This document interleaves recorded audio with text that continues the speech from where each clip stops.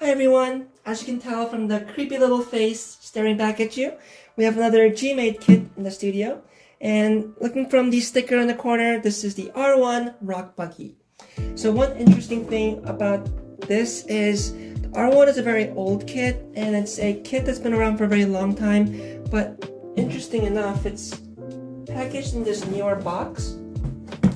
So it does seem like G-Made is going with this box style for all of their kits and just um, putting different stickers on it. I guess it saves them some money. Also, kind of gives a more premium look to their kits, I guess.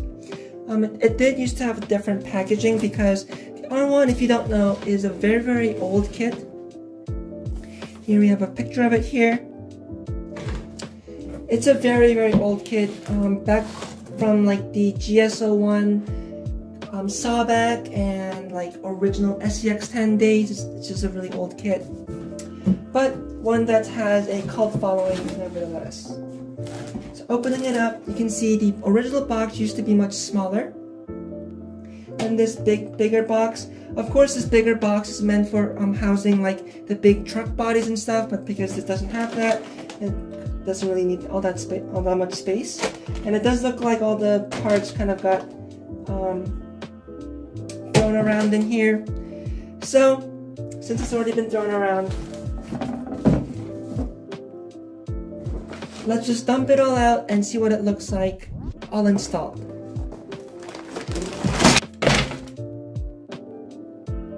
So here we have the R1 completed, assembled, painted and everything. Um, so I'll go over some build notes, some issues with the buggy, um, some other upgrades and things I'm gonna do to it in the future and then we'll take it on a quick little run to see how it runs and um, get to some final thoughts. So overall, it was a really quick build, pretty easy. Um, the most intimidating part for a lot of people would probably be, be the cage, but when you actually get to it, the cage is honestly the easiest part of the build because this side and that side, they're fully put together and you literally just put together the sides with a bunch of metal cross members down the middle. So it's super easy to build. The axles were also pretty easy to build follow the instructions carefully and it, should be pretty easy to put together. So I think if I was really focused on it and was exclusively just focus focus on the build, I could have probably got this thing done in maybe two and a half or three hours. So really easy build, really quick build. So that was a lot of fun. But as you're mounting electronics and stuff to it, you have to note that the cage is very, very small.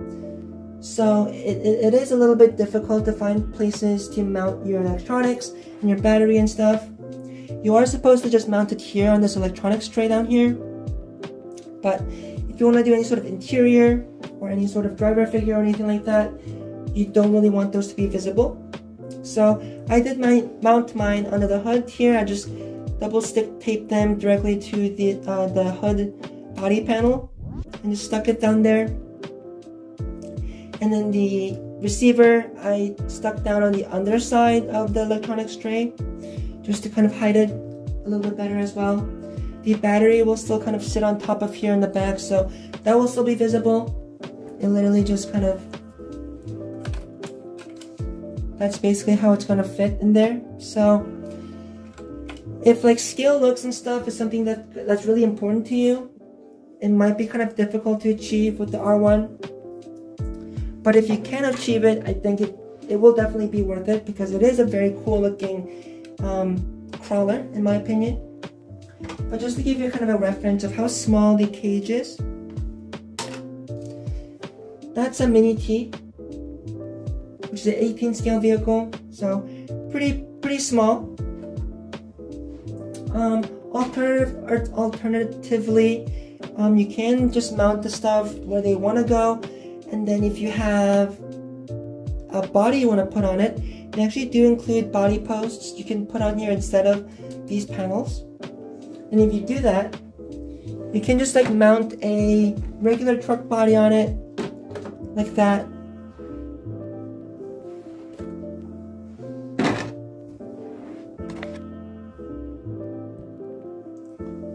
Or like this.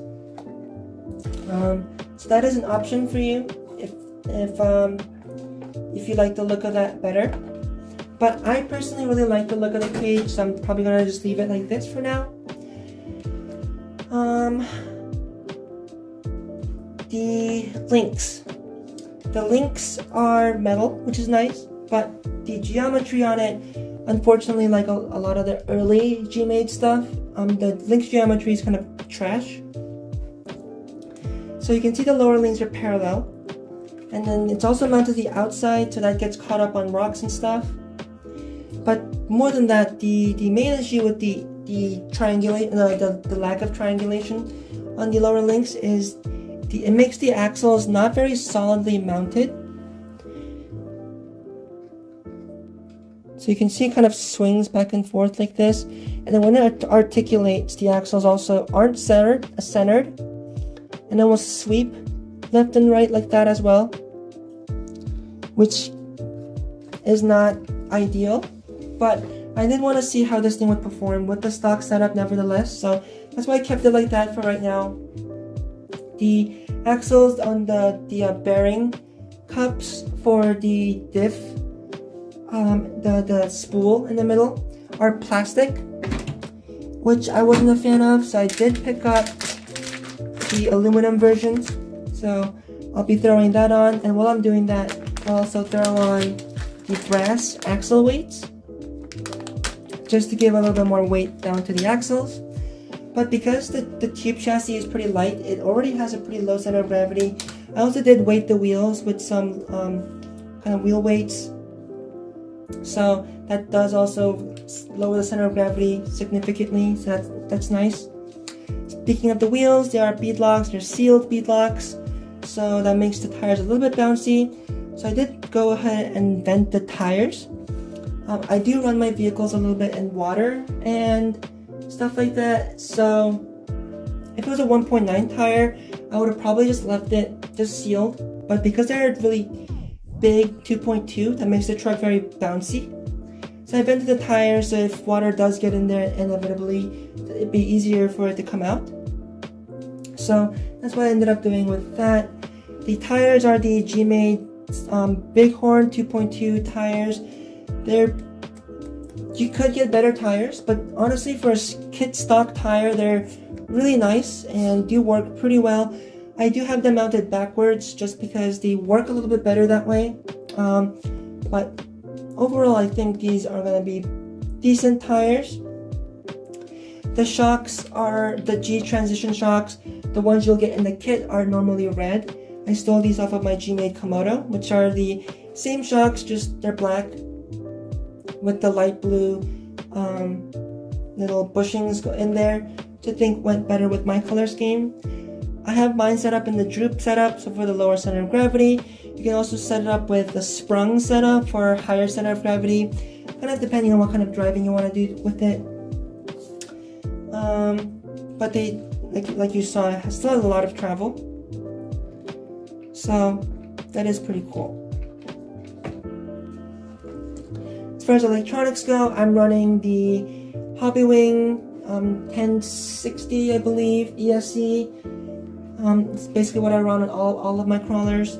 Just a little Mabuchi 25 turn or 27 turn Mabuchi motor um, with and I'm running it on my FlySky radio. So pretty basic electronic setup. I originally wanted to use this fancy 5-pole motor 17 turn, but as you will see later in the driving videos, the uh, gearing on this is a little bit high because G-Made actually was marketing this to compete with the Wraith. So the gearing is set up a little bit high. So 17 turn made a little bit too fast. So kind of went down to a 25 turn and 27 turn, I might end up actually going even lower with that and going with the 35 turn motor. Just because I'm mostly just going to be crawling with this, not really doing any rock racer kind of stuff with it. So, um, that's for the feature. These lights are also not included out of the box. Those are also upgrade parts. And the interesting thing about the light kit is I've never seen this before, but when you get it, they don't include the lights assembled. they literally just give it to you unassembled like this with the resistors and stuff. So you have to solder that together yourself, which if you don't know how to solder or how to put together a light kit, that's a little bit annoying. And they don't give you any instructions or anything, no wiring diagrams, so they just kind of throw, throw that in there and be like, figure it out. But if you do get it, the housings are aluminum and kind of nice, so might be worth um, getting just for that if you want.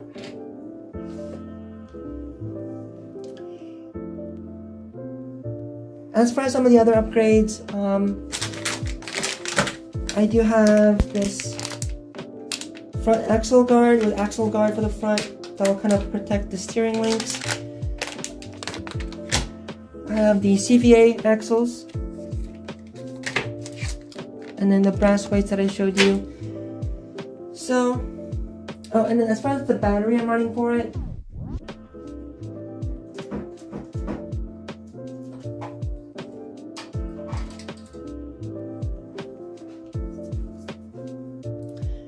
this little tiny LiPo 2S battery that I originally got for my lunchbox mini.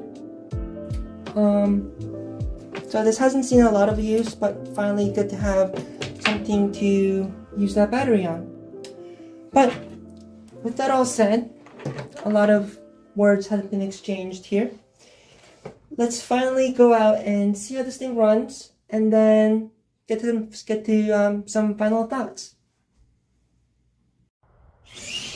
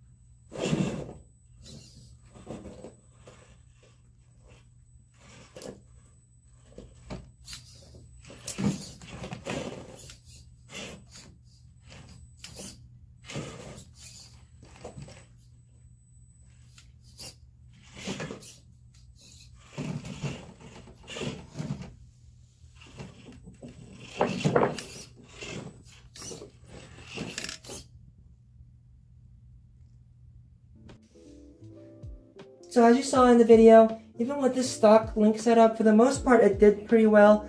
Um, it did end up getting caught up on some rocks sometimes, but uh, and as I predicted, they do hang up here a little bit. But for the most part, it did pretty well. The tires actually also performed much, much better than expected. Um, everyone was pretty kind of, kind of telling me that heat stock tires aren't very good, but honestly, I think they're decent tires. I'll still probably end up getting some different tires for it anyway, but for a box stock tire, I was pretty happy with it. And with just a simple like wheel weights in it, it just crawled like an absolute monster. Um, crawled over everything that I put put it through pretty easily for the most part. The links did make it a little bit hard to keep a line if you were trying to get some really precise line going. So that's something definitely to improve later. But for the most part, I'm pretty happy with how the, how the build went, how it looks, how it drove. So pretty excited to get working on this a little bit more and I'll probably release videos of some I'm testing some of the upgrades I put on it later so it's kind of similar to my sawback so if you guys are interested in that you can check that out when those come out but until then I hope you guys enjoyed this video hope you guys found it informative entertaining if I missed anything and you want you have any questions leave it down in the comments um, and then I'll try to answer it as soon as possible. But as always, I hope you have a great day and have fun with RC.